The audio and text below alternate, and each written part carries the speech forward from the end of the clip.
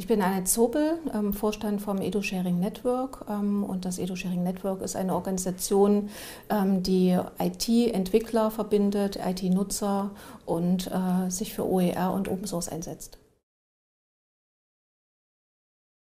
EduSharing ist sehr viel und nicht leicht zu erklären. Also einerseits ist es eine Software, es ist eine Vernetzungssoftware, das heißt, wir nehmen vorhandene Open-Source-Werkzeuge und bauen die Schnittstellen äh, zwischen den äh, Werkzeugen. Das heißt, wir haben eine Lernplattform äh, wie Moodle, wie Ilias, wie OLAT, ähm, ein zentrales Repository, was auf, Alfresco basiert. Und da bauen wir die Schnittstellen, dass man Contents zentral an einer Stelle gut verwalten kann, aber überall nutzen kann ähm, ohne dass man immer die ganzen Inhalte erneut in den einzelnen Plattformen hochladen muss.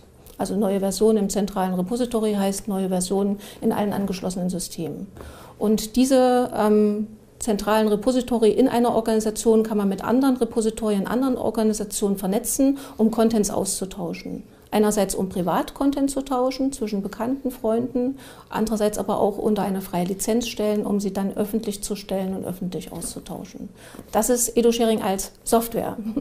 Und EduSharing als ähm, Verein ist eine Gemeinschaft, die ähnlich wie der Ilias e.V. für das Ilias LMS oder der Stutt-IP e.V. für das Stutt-IP LMS ähm, eine äh, Qualitätssicherung bietet, die Leute zusammenbringt zur gemeinsamen Entwicklung, die Weiterentwicklung plant, ähm, die Nutzer einlädt, mitzuwirken. Du kannst einfach zu unseren Veranstaltungen, ähm, zu Thinktanks kommen und ähm, musst gar kein Mitglied dazu sein. Also das ist die einfache Möglichkeit. Wir wechseln jedes Jahr den Ort äh, zu einer, also von unseren Veranstaltungen zu einer neuen Organisation. Ähm, zum Beispiel haben wir im HBZ, im Hochschulbibliothekszentrum äh, von NRW, eine Veranstaltung gemacht, um Bibliotheken mit den E-Learning-Akteuren zu vernetzen. Und da kommt man einfach hin, ähm, setzt sich mit in einen Think Tank rein, macht schöne Konzepte und oft entstehen daraus Projekte und äh, in den Projekten arbeitet man dann gemeinsam. Aber natürlich kannst du auch Mitglied werden und kannst dich halt richtig im Vereinsleben engagieren. Man braucht nicht noch eine Plattform und man braucht auch nicht noch ein Repository und auch nicht noch eine Lernplattform.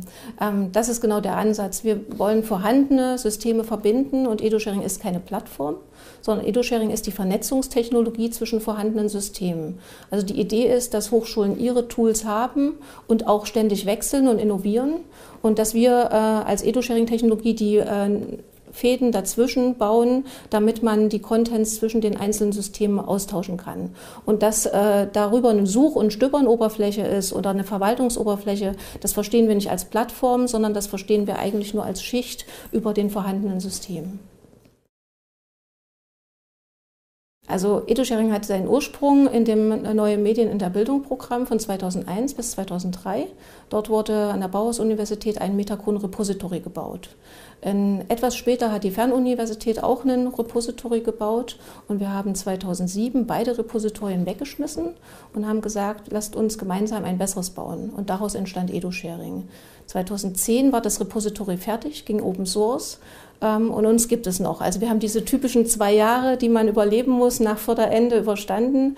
Ähm, und äh, jetzt sind wir im sehr breiten Einsatz und wir haben sehr viele Partner, ähm, sodass das äh, nicht davon abhängt, dass jetzt Fördermittel in EduSharing reingesteckt werden, sondern das EduSharing-Projekt finanziert sich aus den Anwendern.